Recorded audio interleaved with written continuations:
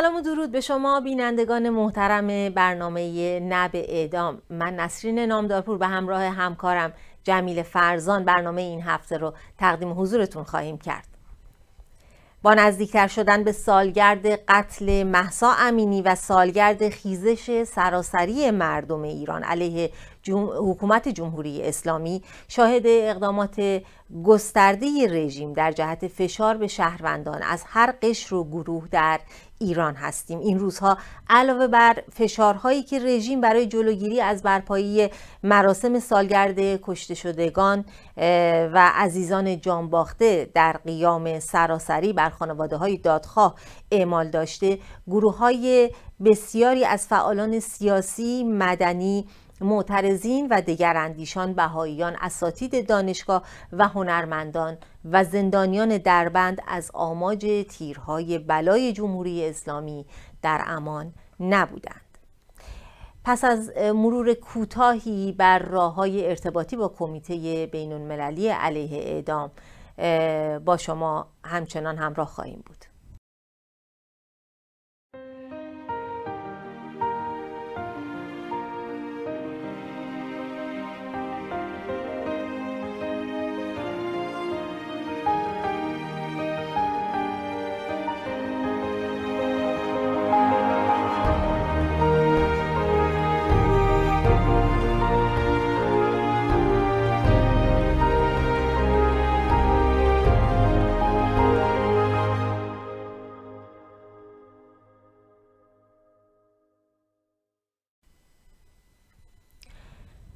طبق گزارش حالوش روز یکشنبه 29 مرداد 1402 چهار زندانی بلوچ با اتهامات مربوط به مواد مخدر اعدام شدند.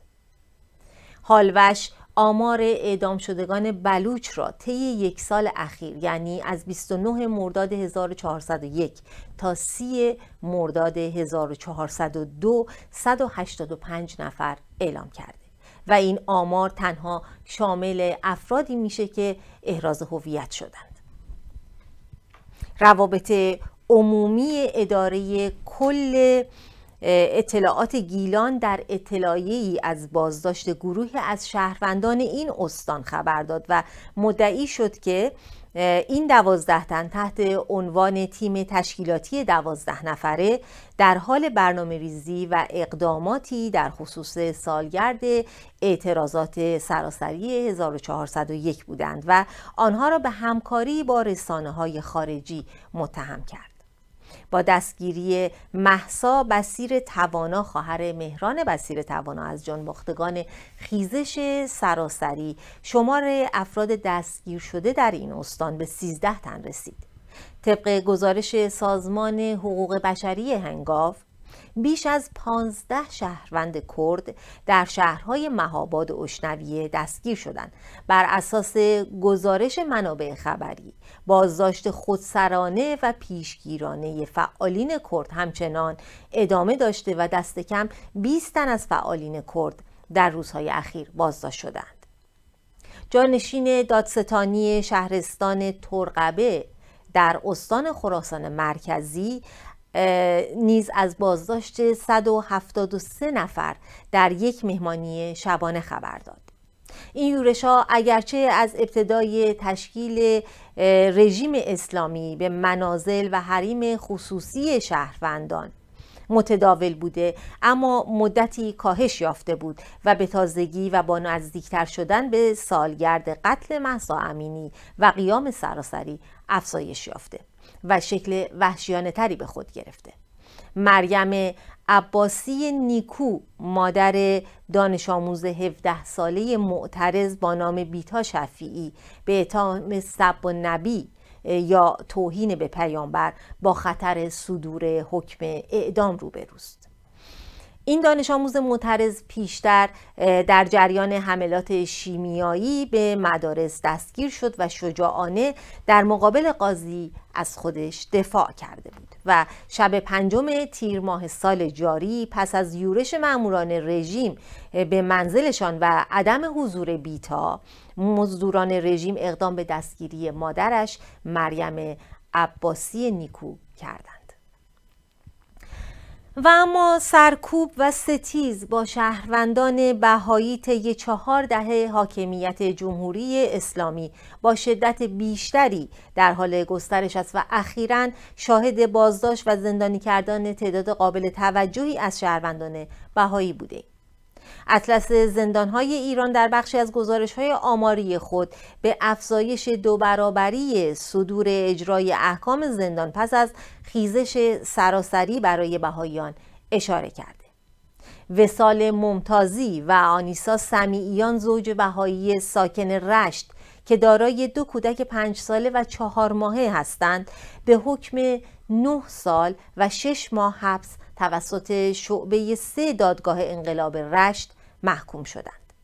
همچنین کامیار حبیبی موزیسین و رامله تیرگر نژاد روانشناس زوج بهای دیگری هستند که در زندان کرج که هر کدوم به پنج به ترتیب به پنج و سه سال زندان محکوم شدند. این زوج نیز دارای دو کودک هستند.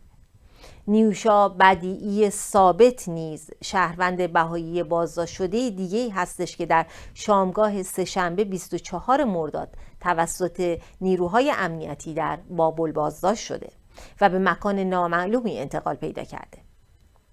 حکم ده سال حبس برای شهروندان بهایی فریبا کمال آبادی و محوش شهریاری توسط دادگاه تجدید نظر تهران تایید شد.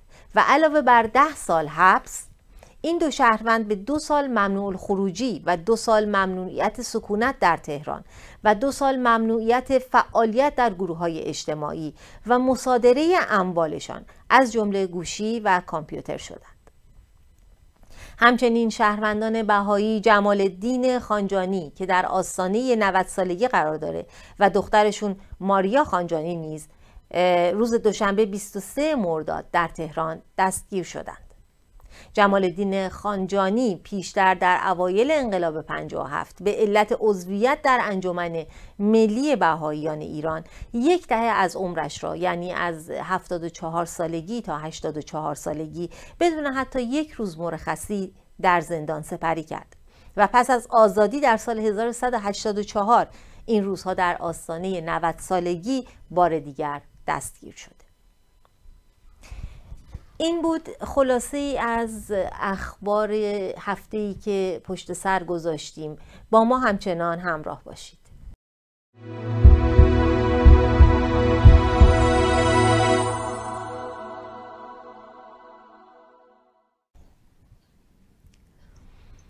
کارشناس این هفته ما هرمز رها هستند مسئول کمیته بین المللی علیه اعدام و با ایشان مروری خواهیم داشت بر وضعیت اعدام ها و احکام زندان برای شهروندان بهایی از گذشته تا به امروز.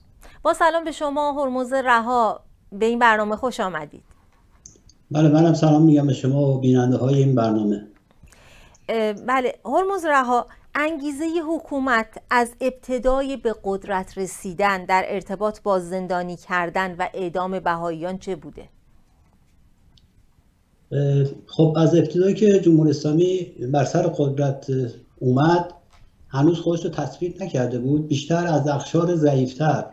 یا همین بهایی ها که اون موقع یه اقلیت مذهبی بودند. از اینا شروع کرد. و خواست کم کم قدرت خودش رو نشون بده خودش رو مستحکم کنه. خب ما می‌بینیم تا از ابتدا که سر کار اومدن تا سال 62 جنایات زیادی رو در رابطه با باهایی انجام دادن. خیلی رو به روستاهایی که اینها سکونت داشتن حمله کردن خانه هاشون آتیش زدن. اینها رو از مدارس بیرون کردن از دانشگاه محروم کردن از کار و شغلشون اینا رو محروم کردن اخراج کردن. و این قبیل کارها تعدادی رو گرفتن زندان کردن و اعدام کردند سال 62 به طور مشخص یعنی تا 62 چندین مورد اعدام بوده از همین بهاییایی که اون موقع جمهوری اسلامی به بهانه های مختلف می‌گفت که احتکار کردن. لوازم یدکی ماشین رو احتکار کردن اخلال کردن در کارهای اقتصاد در جامعه. تشویش از, آن عمومی کردن. اینا به خاطر این بود که اینا روایت دیگری داشتن از اسلام. و اینا رو بر نمیتابید جمهوری اسلامی. هر گونه اندیشه دیگه فکر دیگه تفکر دیگر رو قبول نداشت. می‌خواست که حذف کنه می‌خواست نیست کنه نابود کنه. خب دیدیم به طور مشخص در سال 62 تعداد زیادی را اعدام کردن. از جمله ده, ده زن که به جرم اینکه اینها به دانش آموزان دارن بهایت و آموزش میدن اینا را آوردن در میدان چوگان شیراز دار زدن که یکی از اونها دختر جوانی بود به اسم مونا محمود نژاد. که سه ماه قبل از این واقعه این مسئله خرداد 62 بود. سه ماه قبل از این پدر همین مونا رو اعدام کرده بودن. به حال این بگیرو ببندها این هشدارها و محروم کردن از جامعه از امکانات جامعه همچنان ادامه داره. توی همین ده, ده های مختلف ادامه داشته. تو همین اواخر در 1401 در شروع همین خیزش انقلابی زن زندگی آزادی و این انقلاب محسا دیدیم که همچنان به باهایی ها دارن حمله ور میشن اونا رو سرکوب می‌کنن دستگیر می‌کنن قبرستاناشون رو دارن خراب می‌کنن. بعضی ها رو که مخفیانه در مناطقی از جمله خاوران می‌برن دفن می‌کنن بدون اطلاع خانواده و بستگان. خب این فشارها ادامه داره و جمهوری اسلامی به نوعی می‌خواد اینا رو تعداد زیادی رو آواره کرده مجبور شدن از ایران خارج بشن. به زور و به اجبار می‌خواد که اینا دین و مرام خودشون رو کنار بذارن. و حال این سرکوب ها همچنان بله. جاریه و کم نشده بیشتر شده. بله همونجور که در ابتدای خبرها اشاره کردم حتی این روزهای اخیر یورش زیادی به سمت جامعه بهایی از جانب جمهوری اسلامی برده شده و در این روزها که به سالگرد قیام سراسری و قیام زن زندگی آزادی داریم نزدیک میشیم از نظر شما دلیل فشارهایی که بر جامعه بهاییان توسط جمهوری اسلامی وارد میشه چه هستش؟ خب جمهوری اسلامی همچنان که گفت خدای دهه شست الان هم هست و می‌تونم می‌تونه به کمک ما بیاد فکر می‌کنن که همون کارهایی که در اون دوره که سرکوب بهایی بود و کسی اطلاع نداشت وضعیت اینچنین نبود که اینترنتی در دسترس مردم باشه خبررسانی بشه مصاحبه های اینچنانی هر کسی بیاد هر گروهی بیاد تفکر خودشو اعلام کنه مطرح کنه دیگران مطلع بشن. جمهوری اسلامی همچنان فکر می‌کنه آن دورانه خب خیلی الان متوجه هستن می‌دونن که باید آزادی بیان باشه می‌دونن که باید آزادی تفکر و اندیشه و عقیده باشه. جمهوری اسلامی در اون دوران سال 60 62 کل تشکیلات بهایی رو منحل کرد. مخالف هر گونه سازمان و تشکیلات دیگر بجز خودشون بود و تفکری رو بر نمیتابید. خب الان فکر کنه همون دوران هستش. ما می‌بینیم که تو همین چند ماه گذشته 16 باهایی رو به 10 میلیارد و 500 میلیون تومن جزای نقدی یعنی علاوه بر زندان و تبعید و بازداشت و تهدید و این برنامه ها اخراج از کار جزای نقدی هم به دنبال داره. می‌بینیم که نه نفر رو همین اواخر بازداشت کردن با پرونده سازی گفتن که اینا اختلال در بازار داروی ایران داشتند. یعنی عناوین مختلف رو میان مطرح می‌کنن میبندن به افراد منتصب به بهایی بودن و می‌خوان مردم رو در مقابل مردم قرار بدن بگن که اینا دارو احتکار کردن یا اخلال کردن در بازار دارو که مردم رو به اونا بدبین کنن. و اینها همه باهایی بودن این کارا رو کردن. یعنی جمهوری اسلامی به شگرت های مختلف می‌خواد متوسل بشه مردم رو در مقابل مردم قرار بده. تو این مدت مخصوصا تو این دوران یک سال انقلاب محسا مرتب به این شگرت, به شگرت ها و شیوه ها متوسل شده. ولی خب ره به جای نمی‌بره. می‌بینیم که همین جدیدن به روستای روشنکو حمله کردن. خانه های روستایی رو تخریب کردن. خب طرف و از خانه و زندگی و امکانات اجتماعی و رفاهی و همه چی محروم می‌کنن و کلا اون که تشکیلاتشون اون موقع تشکیلات بهایی رو منحل کردن می‌خوان از زندگی هم نیست و ساقتشون کنن. بله بهاییان اساسا اعتقادی به دخالت دین در سیاست ندارند و جامعه هستند که معتقد به مدارا و انسان دوستی و نودوستی هستند. و عموما افراد قابل اعتمادی هستند در جامعه ایران. اینطور به حساب میان با توجه به این ویژگی ها واکنش جامعه ایران به این رفتارهای جمهوری اسلامی با بهاییان تا کنون چگونه بوده و انتظار میره که در مقطع زمانی حال واکنش مردم به این بیدادهایی که این روزها به جامعه بهاییان روا داشته میشه چجوره باشه؟ در واقع منظور من اینه که وظیفه انسانی مردم ایران در قبال ستمی که به شهروندان بهایی میره چه هستش؟ بله خب تو این دوره یک سال ما ببینیم مردم همبستگی بیشتری رو پیدا کردن. مردم مناطق مختلف از سیستان و بلوچستان گرفته تا کردستان و آذربایجان و شهرهای ایران. خب اخشار مختلف هم همینطور. از همدیگه حمایت می‌کنن در بیانی هاشون در نوشته هاشون در سخنرانی هاشون ما می‌بینیم که قشت های مختلف مثلا معلم ها میان از بازنشسته ها حمایت می‌کنن بازنشسته ها از اخشار دیگه جامعه. و این جمهوری اسلامی که می‌خواد اخشار مختلف رو در مقابل هم مناطق مختلف مردم مناطق مختلف رو در مقابل هم قرار بده این تا حالا ره به جای نبرده.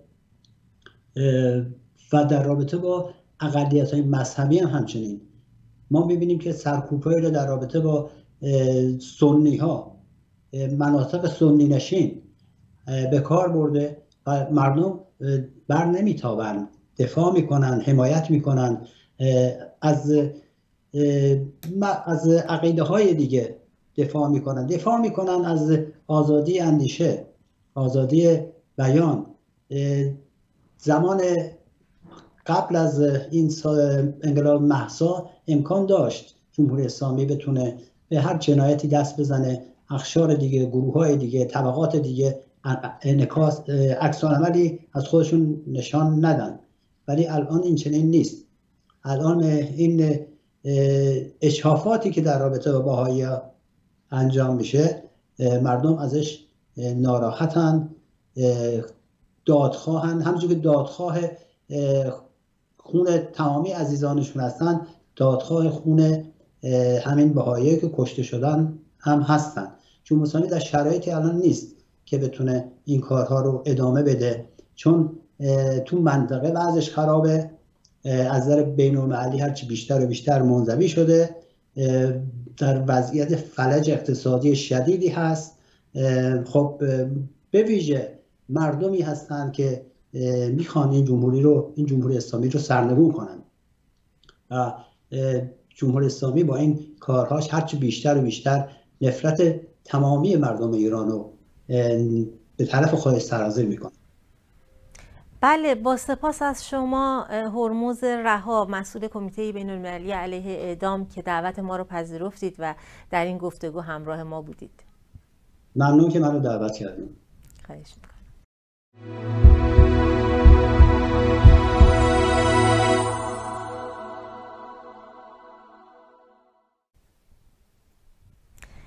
در این بخش مروری داریم بر سالگرد اعدام ها و کشدارهای تابستان 67 توسط جانیان حکومت جمهوری اسلامی. مرداد ماه هر سال یادآور کشتار خونین زندانیان سیاسی. در سال 67 هستش که تا اوایل مهر ماه آن سال نیز ادامه پیدا کرد. و هزاران زندانی سیاسی که حکم قطعی حبس را داشتند در زندانهای سراسر کشور اعدام شدند و در گورهای دست جمعی به خاک سپرده, به خاک سپرده شدند. آنچه در تابستان سال 1367 و سالهای اول دهه 1360 در ایران رخ داد جزو جنایات بزرگ در قرن بیستم به شمار میره. اعدام روزانه 300 الی 500 نفر از مبارزین و آزادی خواهان و مخالفان سیاسی حکومت مستاق بارز نسل کشی و پاکسازی عقیدتی و حذف مخالفان سیاسی در ابعاد گسترده است.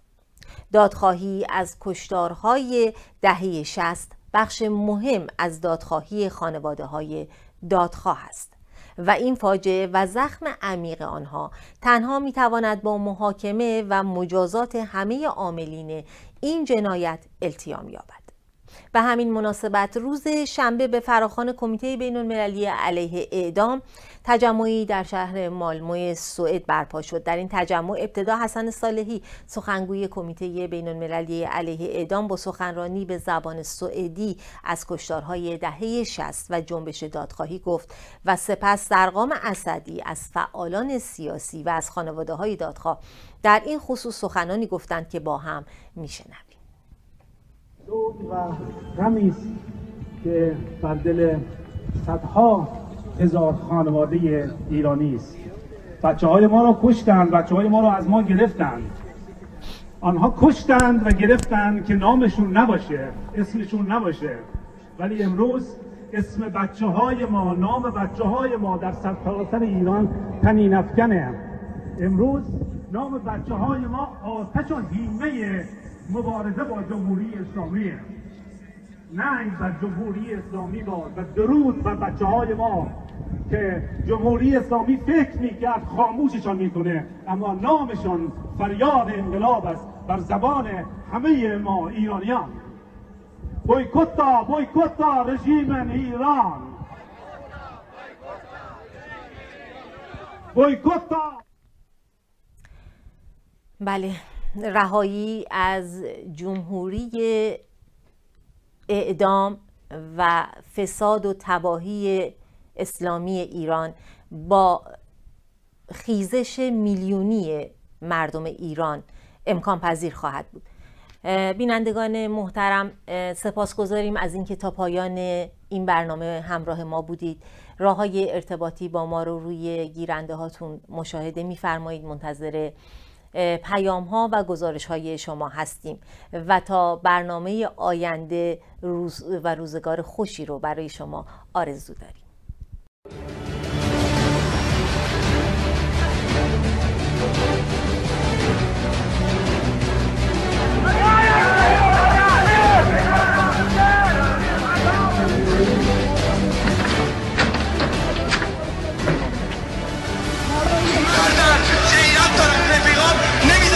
بازی با پشتش نمیدارم کسی دیگه به داداش من خودم بازی اون خب می‌خوام برم ولی کسی دیگه نمی‌ذارم بکشن اینجا. همه اون هستی پشتم مثل بیوار